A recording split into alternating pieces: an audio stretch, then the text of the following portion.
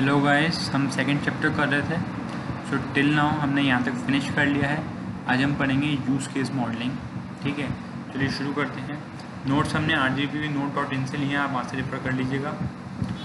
So what is use case modelling okay चलो सुनते हैं। तो ये तो हिस्ट्री लिखी है कौन कब आया, कौन मरा, कौन 1993 में वो पढ़ लेना। मुद्दे की बात देखते हैं। The use case model for any system consist of set of use cases ठीक है? यूज़ केस तो आपको समझ में आ रहा होगा हमने सॉफ्टवेयर में कौन, बहुत सारे केसेस होंगे। लाइक like हमें लॉग इन करना है। हमें लाइब्रेरी मैनेजमेंट की करूँ सपोज़ से। हमें कोई बुक सर्च करनी है। हमें कोई बुक को इशू करनी है। रिटर्न करना है। डिफरेंट डिफरेंट केसेस हैं। तो उन सबको एक मॉडल कर दें। तो उसको क्या कहते हैं? यूज़ केस मॉडल बस इतना ही था। ठीक है? इसमें आपको एग्जांपल दिया है इनने कि आपका यूज़ केस डायग्राम में एक यूज़र है लाइब्रेरियन है। जो यूज़र है, वो लॉगिन कर सकता है। लाइब्रेरियन है, वो भी लॉगिन कर सकता है। यूज़र है बुक को रिन्यू कर सकता है। ठीक है? लाइब्रेरियन उसका वो फुलफिल करेगा हमारे लिए। यूज़र सर्च करेगा बुक को लाइब्रेरियन भी सर्च कर सकता है। ठीक है? यूज़र कोई बुक की अवेलेबिलिटी चेक करेगा लाइब्रेरियन भी चेक कर सकता है। यूज़र कोई रिज़र्व बुक है रिज़र्व कर सकता है किसी बुक को। यूज़र अपना अकाउंट चेक कर सकता है यूज़र रिटर्न बुक कर सकता है ठीक है? अकाउंट चेक करना वाला उसका नंबर ऑफ़ बुक्स कितनी अलॉटेड है इस समय उसको? तीन जैसे किसी कॉलेज में दो बुक्स अलॉट कर सकता है कि स्टूडेंट किसी कॉलेज में चार बुक्स अलॉट कर सकता है स्टूडेंट तो अलग अलग है। सब जगह अलग अलग हिसाब किताब है।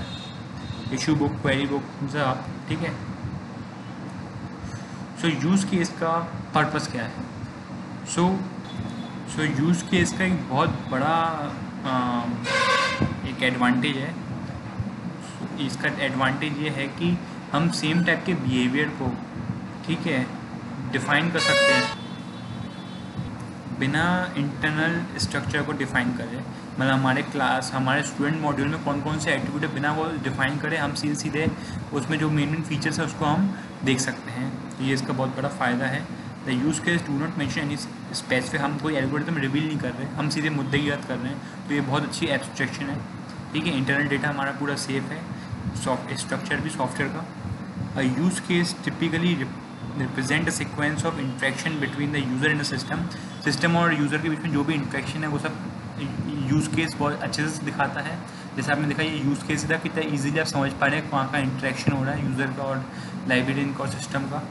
This instruction consists of one mainline sequence.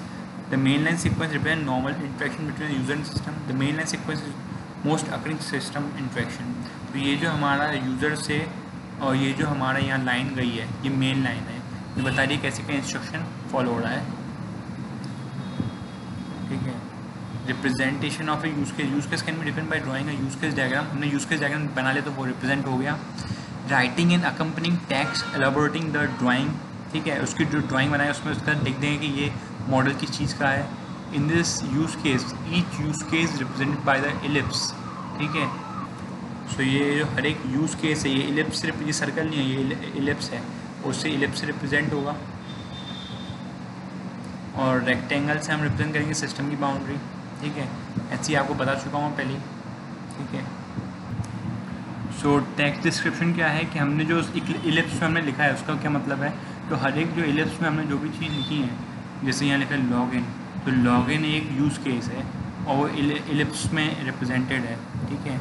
So so, यही यहाँ लिखा है कॉन्टेक्ट पर्सन की कौन ने उसको कॉन्टेक्ट किया है तो ये इस यूज़ केस को लॉगिन को यूज़र ने इंटरेक्ट किया है लाइब्रेरी ने किया है रिन्यू बुक को यूज़र ने किया है लाइब्रेरी ने किया है तो ये कौन है? इसके कॉन्टेक्ट पर्सन है। एक्टर्स कौन कौन है? हमारे उस सब एक्टर्स हैं जो भी उसमें जैसे यूज़ केस लिखे हुए हैं। प्री कंडीशन जब भी उसको कंडीशन फुलफिल हो तो ये लॉग इन करने से पहले उसकी ऑथेंटिसिटी सही होनी चाहिए उसका यूज़र नेम और पासवर्ड बिल्कुल करेक्ट होना चाहिए, तभी इसमें लॉग इन हो पाएगा। प्री कंडीशन पोस्ट कंडीशन उसके समझ लीजिए नॉन फंक्शनल रिक्वायरमेंट उसकी मैं बता चुका हूँ क्या होता है। एक्सेप्शन नहीं आने चाहिए रन टाइम पे सैंपल डायलॉग्स ठीक है? ये कुछ आपके यूज़ केस ही होते हैं। स्पेसिफिक यू आई रिक्वायरमेंट्स ठीक है कि आपके कैसे क्या स्क्रीन होने चाहिए और सम, जो यूज़र समझ पाए एक डेवलपर और यूज़र दोनों कैसे क्या बनाना है। डॉक्यूमेंट की डिफरेंस नहीं पड़ेगी, जहाँ से आपने वो रेफरेंस दी हो, ठीक है तो ये सब था। तो आई थिंक आपको क्लियर हो गया होगा लाइक करना मत भूलेगा थैंक यू